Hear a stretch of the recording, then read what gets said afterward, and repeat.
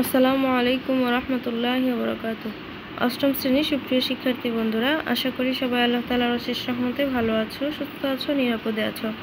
তো আমি আলহামদুলিল্লাহ ভালো আছি।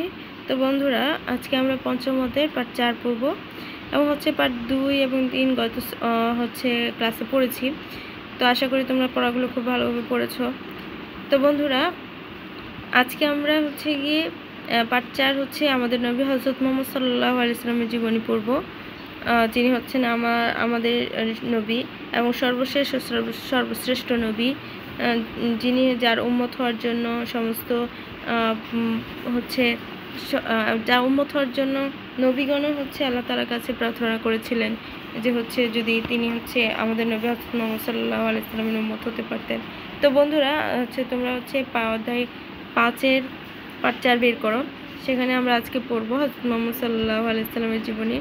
তো আমরা সবাই হচ্ছে রসুল্লাহ আসলামের জন্ম রসুল্লাহ আসলাম পিতা মাতার নাম তিনি কীভাবে লাল- লালিত পালিত হয়েছেন এবং হচ্ছে কার অধীনে সর্বশেষ লালিত পালিত হয়েছে, সব হচ্ছে আমরা পূর্বের ক্লাসে পড়েছি।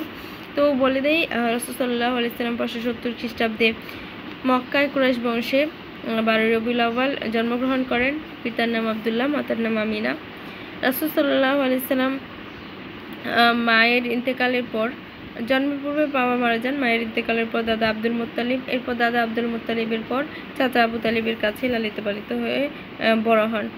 তো রাসুল সাল্লাহ আলাইসাল্লাম হচ্ছে নবদ পাওয়ার পর মক্কার কাফের রাসুল সাল্লাহ আলাইসাল্লামকে ইসলামী দাওয়াত দেওয়ার কারণে অত্যন্ত নির্যাতন করে। তো আল্লাহ তালার উদ্দেশ্য নির্দেশে তিনি যখন হচ্ছে রাসুল সাল্লামকে মক্কার কাফেরা হচ্ছে আহ, হত্যার ষড়যন্ত্র করে, তখন আল্লাহ তালা নির্দেশে তিনি মদিনায় হজরত করেন। এরপর তিনি মদিনায় কী করেন? ইসলামীরা মদিনায় ইসলামী রাষ্ট্র প্রতিষ্ঠা করেন। তো রাসুল সাল্লাহ আলাইসাল্লামের জীবনী আজকে এখান থেকে শুরু করব যে রাসুল সাল্লাহ আলাইসাল্লাম কি মকাই হচ্ছে ইসলামী রাষ্ট্র প্রতিষ্ঠা করার পর তিনি কী কী করেন? তো দেখো, এখানে আছে হজরত মোহাম্মদ সাল্লাহ আসলাম মদিনা ইসলামী রাষ্ট্র প্রতিষ্ঠা করেন। তিনি মদিনায় অবস্থানকালে মাতৃভূমি মক্কার প্রতি দরদ অনুভব করেন।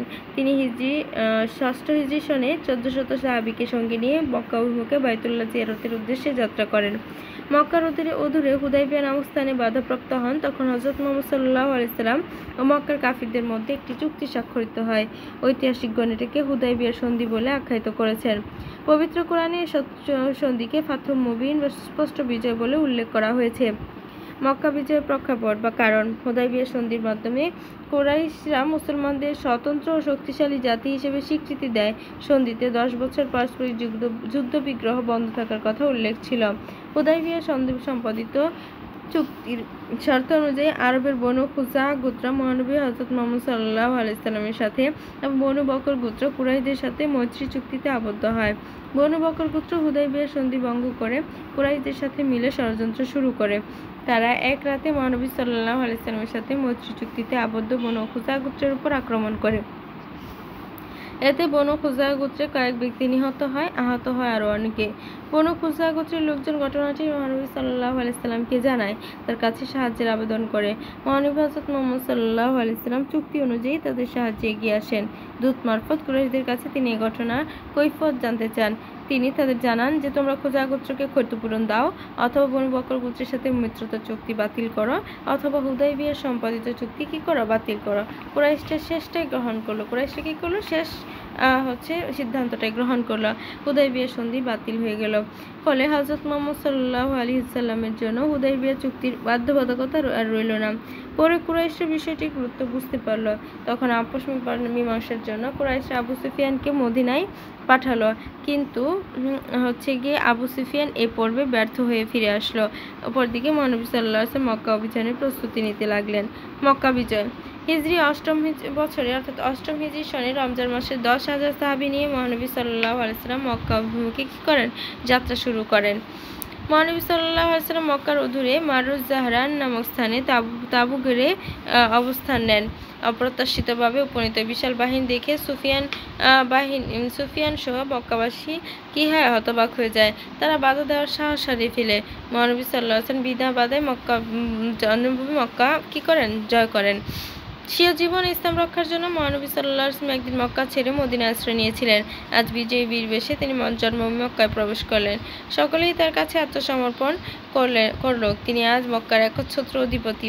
সত্যের বিজয় হলো আর মিথ্যার পরাজয় হলো। সত্যের পথে থাকলে বিজয় সত্যের পথে থাকলে বিজয় একদিন আসবে। মহানবী সাল্লাহ আলিয়াল্লামের উদারতা। মক্কার যে সকল লোক একদিন মহানবী সাল্লাহ আলাইসাল্লামের জীবন নাশ করতে চেয়েছিল, আজ তারাই তার সম্মুখে অপরাধী ও দয়া ভিখারী হিসেবে উপস্থিত। মহানবী সাল্লাহ আলাইসাল্লাম তাদের জিজ্ঞাসা করলেন, তোমরা আজ আমার কাছ থেকে কেমন ব্যবহার প্রত্যাশা করল? করো। তারা বলল, আখুন কারিমুন অর্থাৎ ইবনু আখিন কারিমিন। আপনি আমাদের দয়ালু ভাই, দয়ালু ভাইয়ের পুত্র। আপনার নিকট দয়াপূর্ণ ব্যবহারই আমরা চাই। তখন মহানবী সাল্লাহ আলাইসাল্লাম বললেন লাতাসিব আলাইকুম ইয়াউমা, আজ তোমাদের বিরুদ্ধে কোনো অভিযোগ নেই। ইদহাবু তোমরা যাও, ফাং তুমুত্তলাকা তোমরা মুক্ত, স্বাধীন। দয়ালু নবী সকলকে ক্ষমা করে দিলেন রাসুসাল্লাহ আলাইসাল্লামের জীবনের প্রতিটি আদর্শই আমাদের জন্য অনুসরণীয়। আর রাসুসাল্লাহ আলাইসাল্লামের আদর্শ অনুসরণ করলে আল্লাহ তালা সন্তুষ্ট হবেন। তো হচ্ছে রাসুসাল্লাহ আলাইসাল্লাম হচ্ছেন অত্যন্ত ক্ষমাশীল। রাসুসাল্লাহ আলাইসাল্লাম এক সময় ইসলামের সবচাইতে বড় সূত্র আবু সুফিয়ানকেও কী করে দিলেন? ক্ষমা করে দিলেন। ওহুদ যুদ্ধে আবু সুফিয়ানি কুরাশ বাহিনীর অমুসলিম বাহিনীর নেতা ছিলেন। তার নেতৃত্বে কাফির বাহিনীর হাতে সত্তর জন মুসলমান সৈনিক শাহাদ বরণ করেছিলেন। মহানবী সাল্লাহ আলাইসাল্লাম একটি দাঁত মোবারক ওই যুদ্ধে শহীদ হয়। এত কিছুর পরে মহানবী সাল্লাহ আসলাম তাকে ক্ষমা করেছিলেন। শুধু ক্ষমাই শেষ নয়, মহানবী সাল্লাহ আলাইসাল্লাম আরও ঘোষণা দিলেন, সিও ঘর কা ও কাবা শরীফের পাশাপাশি যারা আবু সুফিয়ানের ঘরে আশ্রয় নিবে, তারাও ক্ষমা ও নিরাপত্তা পাবে। মহানবী সাল্লাহ আলাইসালাম আবু সুফিয়ানের স্ত্রী হিন্দাকেও কী করেছিলেন? ক্ষমা করে করলেন। হিন্দা মহানবী সাল্লাহ আলাইসালামের প্রিয় চাচা হজরত হামসার আনহ শহীদ হওয়ার পর তার নাক কান কেটেছিল, বুক চিরে করে যা বের করে চিবিয়েছিল। এই চিবিয়ে চরম নিষ্ঠুরতা বিভৎসতা পরিচয় দিয়েছিল। তাকে সহ মক্কার সকলকে ক্ষমার দৃষ্টান্ত পৃথিবীর ইতিহাসে কি? বিরল। এরপর দেখো মহাজির ও আনসারদের মধ্যে ভ্রাতৃত্ব বন্ধন বা ভাই ভাই বন্ধনে আবদ্ধ হওয়া। মহানবী হজরত মোহাম্মদ সাল্লাহ মক্কা হতে হিজরত করে আসা মহাজির ও মদিনায় বসবাসকারী আনসারদের মধ্যে ভ্রাতৃত্ব বন্ধন তৈরি করেছিলেন। ভ্রাতৃত্ব বন্ধন অটুট রাখার জন্য মহানবী সাল্লাহ আসলাম মসজিদে নবমীতে মিলন কেন্দ্র বানিয়ে দিলেন। এই ভ্রাতৃত্ব শুধু মুখে মুখে ছিল না, বরং মহাজির মহাজিরদেরকে আনসারদের সম্পত্তির উত্তরাধিকারীর বানিয়ে দিলেন। তিনি হজরত আনাস ইবনে মালিকের ঘরে যেদিন হচ্ছে এই ভ্রাতৃত্ব বন্ধন তৈরি করেছিলেন, ওই দিন ওই গৃহে মোট নব্বই জন সাহাবি ছিলেন। তাদের মধ্যে অর্ধেক ছিলেন মহাজির আর অর্ধেক ছিলেন আনসার। সম্পত্তিতে মহাজিদের উত্তরাধিকার বিধানটি বদর যুদ্ধ পর্যন্ত কি ছিল, বলবৎ ছিল। জন্মসূত্রে আবদ্ধ না হওয়া হয়েও এমন ভ্রাতৃত্ব বন্ধন মানব ইতিহাসে খুঁজে পাওয়া বিরল। বিদায় হজের বাসন। সোরা আন্নাসর নাজিল হওয়ার পর হজরত মোহাম্মদ সাল্লাহ আসলাম বুঝতে পারলেন যে তার জীবন প্রায় শেষ। তাই তিনি ছয়শো বত্রিশ খ্রিস্টাব্দের দশম হিজড়ি তেইশে ফেব্রুয়ারি লক্ষাধিক সাহাবিকে সাথে নিয়ে হজ করতে মক্কা অভিমুখে রওনা দিলেন। একে বিদায় হজ বলা হয়। হজরত মোহাম্মদ সাল্লাহ আসলাম নয়জিল হজ আরাফাতের ময়দানে উপস্থিত হয়ে জনসমুদ্রের সামনে যে বাসন দেন, তাকে বিদায় হজের বাসন বলা হয়। উক্ত ভাষণে তিনি ব্যক্তি জীবন থেকে রাষ্ট্রীয় জীবন পর্যন্ত সর্বপ্রকার দায়িত্ব, লেনদেন, পারস্পরিক সম্পর্ক, অধিকার ইত্যাদি বিষয়ে গুরুত্বের সাথে তুলে ধরেন। নিম্নে বিদায় হজের প্রদত্ত ভাষণের সারসংক্ষেপ উল্লেখ করা হলো। আরাফাতের ময়দানে সংলগ্ন মহাজাদের সংলগ্ন জাবালি রহমত এর উঁচু টিলায় মহানবী সাল্লাহ আলাইসালামের প্রথমে মহানবী সাল্লাহ সাল্লাম প্রথমে আল্লাহ তালা কী করলেন? প্রশংসা করলেন। এরপর বললেন, হে মানব সকল, আমার কথা কী করো? মনোযোগ দিয়ে শোনো। কারণ আগামী বছর আমি তোমাদের মাঝে এখানে সম্পর্ক না হতে পারি। আজকের এই দিন এই মাস স্থান যেমনই পবিত্র তেমনি তোমাদের জীবন সম্পদ পরস্পরের নিকট কি? পবিত্র। মনে রাখতে হবে, একদিন সকলকে আল্লাহ তালার সামনে উপস্থিত হবে, যেদিন সেদিন সকলকে নিজ নিজ কাজের হিসাব দিতে হবে। এই বিশ্বাসীগণ, স্ত্রীদের সাথে সদাই ব্যবহার করবে। তাদের উপর তোমাদের যেমন অধিকার রয়েছে, তেমনি তোমাদের উপরও তাদের কি রয়েছে? অধিকার রয়েছে। সর্বদা অন্যের আমার রক্ষা করবে এবং পাপ কাজ হতে বিরত থাকবে। সুদ খাবে না। আল্লাহ তালার সাথে কাউকে কি করো না, শরিক করো না। আর অন্যায়ভাবে একে অন্যকে হত্যা করো না। মনে রাখো, দেশ পর্ণগোত্র সম্প্রদায় নির্বিশেষে সকল মুসলমান সমান। আজ হতে বংশগত শ্রেষ্ঠত্ব বিলুপ্ত হলো। শ্রেষ্ঠত্বের একমাত্র মাপকাঠি হলো আল্লাভীতি বা সৎকর্ম। সে ব্যক্তি সবচেয়ে সেরা যে নিজের সৎকর্ম দ্বারা শ্রেষ্ঠত্ব অর্জন করে। আর ধর্ম নিয়ে বাড়াবাড়ি করো না। পূর্বের অনেক জাতি এ কারণে ধ্বংস হয়েছে। নির্যোগ্যতা বলে কৃতদাস যদি নেতা হয়, তার অবাধ্য হবে না, বরং তার আনুগত্য করবে। দাস দাসীদের প্রতি সদা ব্যবহার করবে, তা তোমরা যা আহার করবে ও পরিধান করবে, তাদেরও তা আহার করাবে ও পরিধান করাবে। তারা যদি কোনো অমার্জনীয় অপরাধ করে ফেলে, তবে তাদের মুক্ত করে দেবে, তবু তাদের সাথে কি করবে না? দুর্ব্যবহার করবে না। কেননা তারা তোমাদের মতোই মানুষ, আল্লাহ তালার সৃষ্টি। সকল মুসলিম একে অপরের ভাই এবং তোমাদের একই ভ্রাতৃত্বের তোমরা একই ভ্রাতৃত্বের বন্ধনে আবদ্ধ। জাহিলি যুগে সকল কুসংস্কার হত্যার প্রতিশোধ বাতিল করা হলো। তোমাদের পথ প্রদর্শনের জন্য আল্লাহ তালা বাণী, তার রাসুল আদর্শ রেখে যাচ্ছি। এভাবে যতদিন তোমরা আঁকড়ে ধরে থাকবে, ততদিন তোমরা কি হবে না? বিপদগামী হবে না। আমি শেষ নবী, আমার পর কোনো নবী আসবেন না। তোমার, তোমরা যারা উপস্থিত আছো, তারা অনুপস্থিতের কাছে আমার বাণী কী করবে? পৌঁছে দিবে। এরপর হজরত মোহাম্মদ সাল্লাহ আসলাম আকাশের দিকে তাকিয়ে আওয়াজ করে বলতে লাগলেন হে আল্লাহ, আমি কি তোমার বাণী সঠিকভাবে জনগণের নিকট পৌঁছাতে পেরেছি? সাথে সাথে উপস্থিত জনতা হতে আওয়াজ আসলো। হ্যাঁ নিশ্চয়ই পেরেছেন। হজরত মোহাম্মদ সাল্লাহ আলাইসাল্লাম বললেন, হে আল্লাহ, তুমি কী করো? সাক্ষী থেকো। এরপর আল্লাহ তালা নাজির করলেন আলিয়ামা আকমালতুলাকুম দিন আকুম আজ আমি তোমাদের জন্য দিনকে কি করলাম? পরিপূর্ণ করে দিলাম। ওয়াতনাম তালাইকুম নিয়ামাতি এবং আমার নিয়ামত তোমাদের জন্য পরিপূর্ণ করে দিলাম। অরাদি তুলাকুম ইসলাম আদিনা এবং ইসলাম তোমাদের জন্য ইসলামকে একমাত্র জীবন ব্যবস্থা হিসেবে মনোনীত করলাম। মহানবী সাল্লাহ আসলাম কিছুক্ষণ নীরব থাকলেন। উপস্থিত জনতাও নীরব ছিল। এরপর সকলের দিকে তাকিয়ে করোনা দৃষ্টিটাকে বললেন, আলবিদা একটা একটা অজানা বিযোগিক ব্যথা উপস্থিত সকলের অন্তরকে বারাক্রান্ত করে তোলে। বিদায় হস্তকে ফিরে মহানবী সাল্লাহ আসলাম কিছুদিন পর অসুস্থ হয়ে পড়লেন। অতঃপর এগারো হিজরি সনের রবিউল আউ্বাল মাসের ছয়শো বত্রিশ খ্রিস্টি খ্রিস্টাব্দে সাতই জুন সোমবার ইন্তেকাল করেন। তখন তার বয়স ছিল তেষট্টি বছর। জন্মগ্রহণ করেছেন পাঁচশো সত্তর খ্রিস্টাব্দে।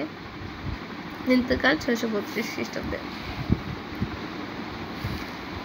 আদর্শ মানব ছিলেন আমাদের নবী হজরত মোহাম্মদ সাল্লাহ আলাইসলাম জীবনের অনুকরণীয়, অনুসরণীয় নিয়ম নীতিকে কি বলা হয়? আদর্শ বলা হয়। এ শিফা হজরত মোহাম্মদ সাল্লাহ আলাইসলাম মানব জাতির সর্বশ্রেষ্ঠ আদর্শ। আল্লাহ তালা বলেন, লাকাদ কান আলাকুম লাকাদ কান আলাকুম ফি রাসূলিল্লাহি হাসানা নিশ্চয়ই আল্লাহ রাসূলের জীবনে রয়েছে তোমাদের জন্য উত্তম আদর্শ। আহজাব। ব্যক্তিগত, পারিবারিক, সামাজিক, রাষ্ট্রীয় সকল দিক দিয়ে হজরত মোহাম্মদ সাল্লাহ আলাইসালাম আমাদের আদর্শ। হজরত মোহাম্মদ সাল্লাহ ব্যক্তিগত আদর্শ। হজরত মোহাম্মদ সাল্লাহ আসলাম ব্যক্তিগত জীবনে অত্যন্ত বিনয়ী, সদালোপী, হাস্যোজ্জ্বল, দয়ালু ছিলেন। ধনী, দরিদ্র, এতিম, অসহায়, রাজা প্রজাদের সকলের সাথে আচরণ ছিল অনুকরণীয়। তার দয়া, ভালোবাসা সকলের পাশাপাশি শিশুদের প্রতি ফুটে ওঠে। তিনি শিশুদের প্রতি সদা আচরণ করতেন, অন্যকেও তা করতে উৎসাহ দিয়েছেন। হজরত মোহাম্মদ সাল্লাহ আলাইসাল্লাম বলেছেন, লাইসা মিন্না মাল্লাম নিয়ার হাম সগিরনা। যে আমাদের শিশুদের প্রতি দয়া করে না, সে আমাদের কি নয়? দলভুক্ত নয়, অর্থাৎ আমাদের ছোটদের প্রতি দয়া করে না। কৃতদাস থেকে শুরু করে নারী, পুরুষ, আত্মীয়, অনাত্মীয়, এমনকি জীবজন্তুর প্রতি দয়া প্রদর্শন করতে তিনি পরামর্শ দিয়েছেন। তিনি বলেন, জমিনে বসবাসকারীদের প্রতি দয়া করো, তাহলে আসমানবাসীরাও তোমার প্রতি কী করবে? দয়া করবে। এক কথায়, ক্ষমাশীলতা, উদারতা, সততা, সত্যবাদিতা, সংযম, ন্যায়পরায়ণতা, গণতান্ত্রিক মূল্যবোধ, ভ্রাতৃত্ববোধ, পরামর্শহীনতা, মানবিক অপ- অসাম্প্রদায়িক দৃষ্টিভঙ্গি, দানশীলতা পরোপকারিতা, দেশপ্রেম ও আধা পালন সহ অনুসরণীয় গুণাবলী রসুল সাল্লাহ আলাইসালামের জীবনে বিদ্যমান ছিল। হজরত মোহাম্মদ সাল্লাহ আলাইসাল্লামের পারিবারিক আদর্শ, পারিবারিক ও পরিবার পরিবার সুষ্ঠু ও সুন্দরভাবে পরিচালনার জন্য পরিচালনার জন্য একজন আদর্শ মানুষের একজন মানুষের জীবনে যতগুলো গুণ থাকা প্রয়োজন, সব গুণই হজরত মোহাম্মদ সাল্লাহ আলাইসাল্লামের জীবনে ছিল। তিনি কন্যা, স্ত্রী, পিতামাতা ভাই বোন সকলের জন্য আদর্শ ছিলেন। পরিবারের পরিবারের যে কোনো সদস্য তার কাছে সাহায্যের আবেদন করলে তিনি তাকে সাহায্য করতেন। তাদের সাথে সদা সত্য কথা বলতেন। মিথ্যাকে তিনি আজীবন ঘৃণা করতেন। তার ব্যবহারে নম্রতা প্রকাশ করত। তিনি পরিবারের সকলের কথায় মনোযোগ দিয়ে শুনতেন। কোনো বিষয়ের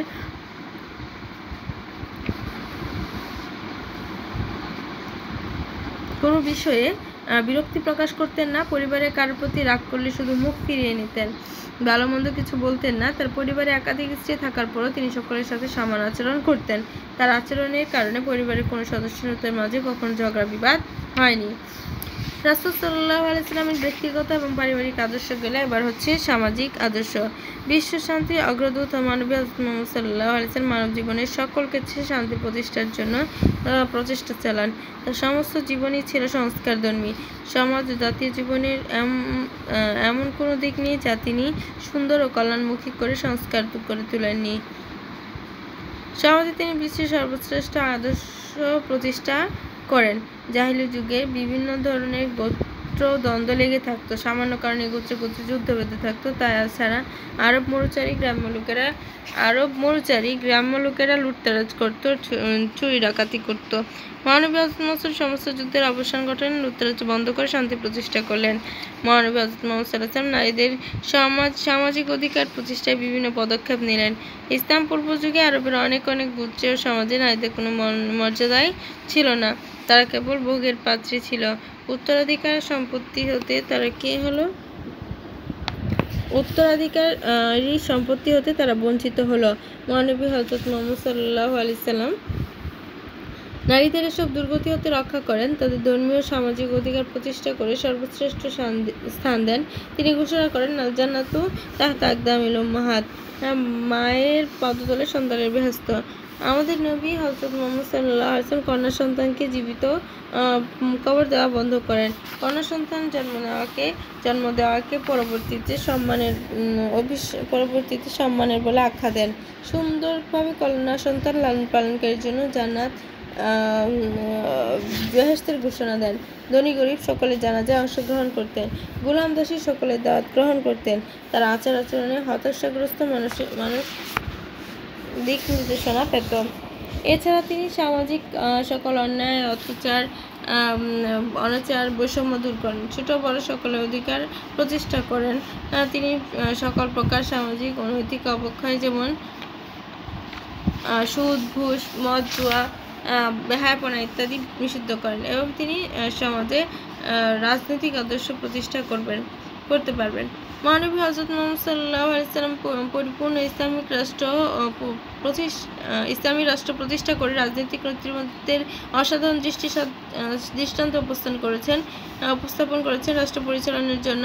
আল সর্বজনীন গণতান্ত্রিক নীতি অনুসরণ করেন ইসলাম পূর্বযুগে আমাদের অনেক সময় এই গোত্র ও গোত্র জোর অনেক সমাজ, আরবের অনেক সমাজ ও গোত্র জোর যার মূল্য তার, এ নীতিতে বিশ্বাসী ছিল।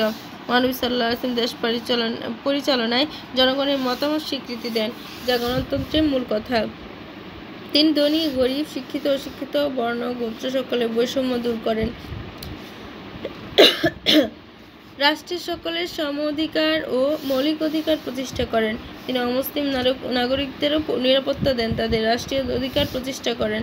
আইনের শাসন প্রতিষ্ঠা করেন। আইনের চোখে মুসলিম ও মুসলিম ধর্ম, বর্ণ, গোত্র সকলে সমান এ নীতি বাস্তবায়ন করেন। তিনি রাষ্ট্রের ভিত্তি মজবুত করার জন্য বললাম মজবুত তিনি রাষ্ট্রীয় ভিত্তি মজবুত করার জন্য মুসলমান, খ্রিস্টান ও ইহুদি সম্প্রদায়ের মাঝে সম্প্রীতি প্রচেষ্টার জন্য একটি চুক্তি সম্পাদন করেন। এই চুক্তি মদিনার সন্তান পরিচিত পরিচিত। এই চুক্তিতে সাতচল্লিশটি ধারা রয়েছে, সাতচল্লিশটি ধরনের চুক্তি রয়েছে। দেখো, পাঁচ মহানবী সাল্লাহ ইসলামের অর্থনৈতিক অর্থনৈতিক আদর্শ। মহানবী সাল্লাহ ইসলাম তৎকালীন আরব সমাজে প্রচলিত চক্রবর্তী হারে সুদের যে প্রচলন ছিল তা নিষিদ্ধ। মহানবী সাল্লাম তৎকালীন আরব সমাজে প্রচলিত চক্রবৃদ্ধি হারে সুদের যে প্রচলন ছিল তা নিষিদ্ধ ঘোষণা করেন। সুদের পরিবর্তে ব্যবসাকে উৎসাহিত করেন। তিনি বলেন আল্লাহ তালা বলেছেন রিবা। আল্লাহ তালা সুদকে হারাম করেছেন আর ব্যবসাকে হালাল করেছেন। ঘুষ প্রথাও কঠিনভাবে নিষিদ্ধ। তিনি ঘোষণা করেন, ঘুষ গ্রহিতা, ঘুষদাতা উভয়ই জাহান্নামী। সমাজ থেকে তিনি প্রতারণামূলক সকল ব্যবসা বন্ধ করে দেন। সম্পদের সুষম বন্টনের ব্যবস্থা করেন। সম্পদের যাতে জনগণের অধিক জনগণের অধিকার নিশ্চিত থাকে, তার উদ্যোগ নেন। রাজস্বের উৎস হিসেবে জাকাত গনিমত হচ্ছে জন্মত বলা হয় যুদ্ধ অর্জিত সামগ্রী, জিজিয়া, মুসলিম হতে আরেকত নিরাপত্তা কর, খারাজ ও মুসলিমদের ভূমিকর বা ট্যাক্স অবসর মুসলিমদের উৎপন্ন ফসলের কর ইত্যাদি গ্রহণ করেন। তো বন্ধুরা আমরা হচ্ছে আজকে মানবী সাল্লাহ আলিয়াল্লামের জীবনী থেকে ত্রিশটি অবজেক্টিভ করব বাসায়। এবং হচ্ছে খুব ভালোভাবে রিডিং করব। এটা হচ্ছে রাজুসাল্লাহ জীবনী। আমরা হচ্ছে প্রায় বিস্তারিত পড়ে ফেলছি কিনা আরেকটু বিস্তারিত দেওয়া হয়েছে। তো বন্ধুরা, সবাই ভালো থেকো সুস্থ থেকো। আমরা হচ্ছে গিয়ে পূর্বে হচ্ছে বিস্তারিত পড়িনি। মানে হচ্ছে সংক্ষিপ্ত পড়েছে, এখানে বিস্তারিত দিয়েছে। তো হচ্ছে আমরা হচ্ছে ওয়েস্টাব্লিউ করব। সবাই ভালো থেকো, সুস্থ থেকো। এই প্রত্যাশা আজ এখানে শেষ করছি। ওয়াকির দাওয়ান আলহামদুলিল্লাহ রবিল আলমিন। আসসালামু আলাইকুম রহমতুল্লাহ